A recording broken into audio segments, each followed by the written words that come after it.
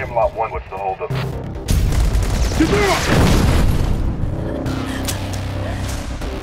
Two hours ago, the First Order's convoy was hit by militants. You got 48 hours to begin actions against my enemies. Cassandra Clay. Rescue her, you're free. Sounds like a suicide mission. When do we start? Come to me, girls. The base of operations is a former Soviet prison.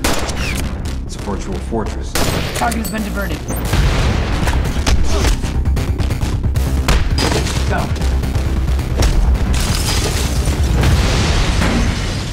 So what's the plan? We go PMS from hell on this place.